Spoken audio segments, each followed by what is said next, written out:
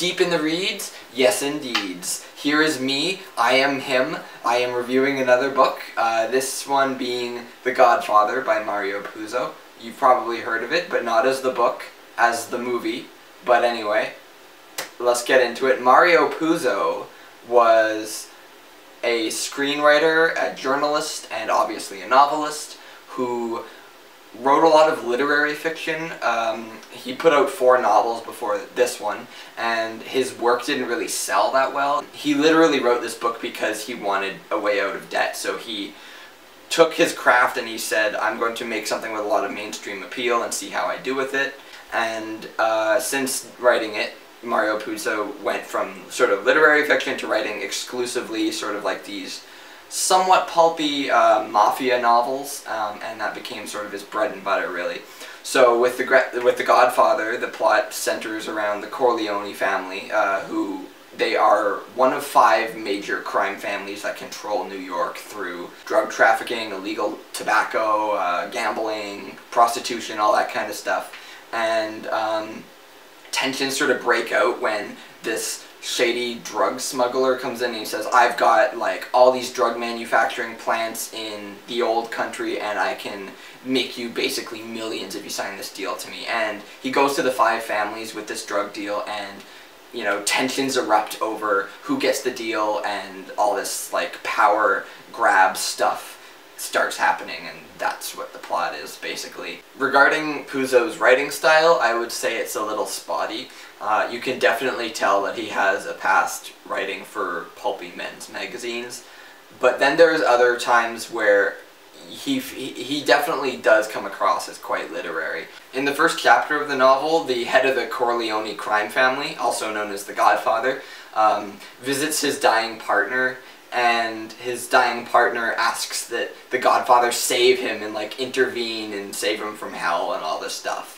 And the Godfather basically acts like a priest would. He gives him a final benediction and he says like, you know, I'll pray for you and you know, making the sign of the cross. It's a really interesting way of uh, introducing the reader to the core symbolism of the book, which is the critique of institutional power using the mafia and organized crime as a metaphor.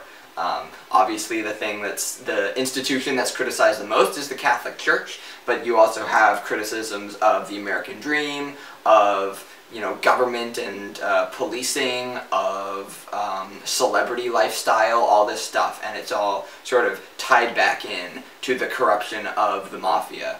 And I think that's a really unique sort of approach to take with a book like this, and it's what elevates it beyond being just another pulpy crime novel.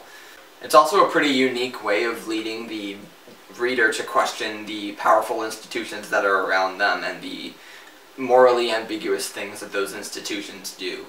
Um, especially if you're a beneficiary of the inequalities that those institutions create. There's also, of course, the fact that a lot of the characters, well, all of the characters, are extremely bigoted. They are patriarchal as all get out, and they are racist as well. And although you might be tempted to simply dismiss that as, you know, a sign of the times, this book was written in the 60s, um, I think it's a very intentional thing in the book to have the characters be like this because you know, these are the people that are holding all the keys. They actively prevent women and non-Italians from gaining power in their circles.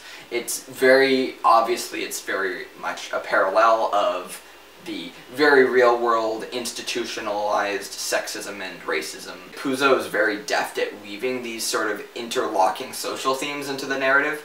And while all of these themes are going on, you have this really enga engaging uh, crime narrative it's, you know, all the stuff you would want from a book like this. All the intrigue, all the character drama, and how, like, a character's motivations will cause things to happen, and how the slightest mistake in this nefarious world can lead to you or people you love getting killed. And I think it's a really, really excellent story at its core. And of course, at the core of the story, uh, the Godfather is not the main character. Um, rather, his son, Michael Corleone, is. And Michael Corleone is like this straight-laced guy. He's gone to college. He's like a decorated war veteran and he wants to live like a proper life. But he gets drawn in by circumstance.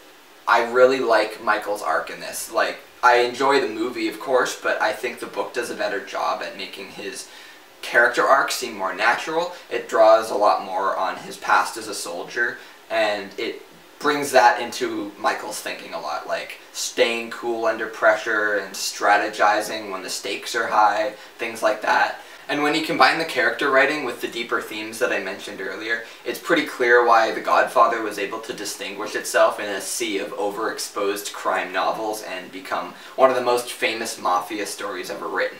So with all that in mind, is are there any major problems? Uh, well, yes, I'm glad you asked. There's just one major issue with this book. And that's that nobody gives a fuck about Johnny Fontane. Puzo spends an inordinate amount of time on this milquetoast Hollywood character, and it's obviously there to be a critique of the celebrity lifestyle, of the American dream, and of the entertainment industry and its, you know, connections to organized crime. But that connection is made really quickly, you know? Like, within the first two chapters, The Godfather sends a guy to make a deal with a film director, and you see the corruption, you get this very Harvey Weinstein-esque scene where you're like, oh my god, oh my god, like look at how awful this industry is, and then the reader gets it, but the Puzo keeps going back again and again to this uh, like you're in the middle of this really intriguing like mafia crime struggle for power thing and then it's just like I wonder what old Johnny Fontane is up to in Hollywood. He's trying to get his mistress an abortion. Whoa! And it's just like okay can we go back to the good stuff, please? The other thing that I kind of take issue with in uh, The Godfather is that I find Puzo to be a little bit too reliant on ex exposition and over-explaining certain things. Generally, I think there's a few hiccups. I think if he had tightened up the writing and if he had really cut down on the Johnny Fontane character, uh, he would have had a much better book overall. So, while I admire Puzo's ambition in using a mafia story as a critique of institutional power in the American dream, um, I think this, the execution sometimes falters. Fortunately, the movie, in my opinion, maintains a lot of the social critique while cutting basically all of the fat. It's still one of my favorite movies of all time, too. Um, so if you are completely new to the story, I would personally recommend the film over the book. However, if you're already interested in mafia stories, I would definitely recommend checking out the book. But if you do read the book, don't feel too bad if you feel compelled to skip the Johnny Fontane chapters. Whenever I go over this, when I when I was re-listening to the audiobook for this, every time Johnny Fontane came up, I just dragged the timeline slider just past his scene, so I wouldn't have to deal with it. And the story was much better for it. Like, I would have given this a solid 8 out of 10 if Johnny Fontane was only in the first couple chapters. I would give The Godfather a strong 6 to a light 7 out of 10. Um, yeah, definitely worth seeking out if you're interested in mafia novels, although it could have been tighter in the execution. And that's it. That's it, ladies and gentlemen. That's the review you got this nice, beautiful book on the surface. Inside, it's it's blood. It's all blood of the innocent, spilled by the greed of the American fucking dream. I used a dollar bill.